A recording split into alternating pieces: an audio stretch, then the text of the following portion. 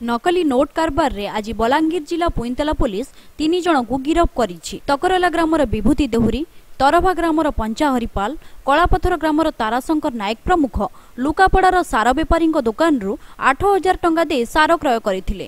ସାର ବେପାରୀ ଜଣକ ନକଲି ନୋଟ୍ ସନ୍ଦେହ ହେବା ପରେ ଉକ୍ତ ତିନି ଜଣଙ୍କ ବିରୋଧରେ ଥାନାରେ ଏକ ମାମଲା ଦାୟର କରିଥିଲେ।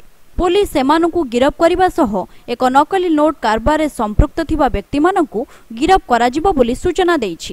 ଗତ ତେର ତାରିଖ ଦିନ ଲୁକାପଡ଼ା ଗ୍ରାମର ଜଣେ ବ୍ୟବସାୟୀ ସେ ଆସି ଥାନାରେ ଅଭିଯୋଗ କରେ ଯେ ଟକରଲା ଗ୍ରାମର ବିଭୂତି ଦେହୁରୀ ବୋଲି ଗୋଟେ ପିଲା ତାଙ୍କୁ ଦୁଇ ହଜାର ଟଙ୍କାର ଜାଲି ନୋଟ୍ ଦେଇକି ତାଙ୍କ ପାଖରୁ ସାର ନେଇଯାଇଛି ଆଉ ତାକୁ କହିଲେ ସେ ମାନୁନି।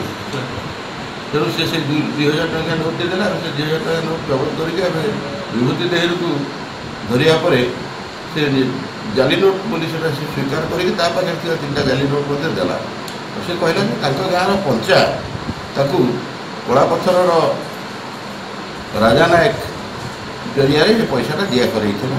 ଆଉ ସେ କିଛି ପଇସା ତା ଦେହରେ ଖର୍ଚ୍ଚ କରିଦେଇ ତା ପାଖରେ ତିନିଟା ବଳିଥିଲା ସର୍ବମୋଟ ଚାରି କୋଟି ଦୁଇ ହଜାର ଟଙ୍କିଆ ନକଲି ନୋଟ୍ ଆମେ ଜବତ କରିଅଛୁ।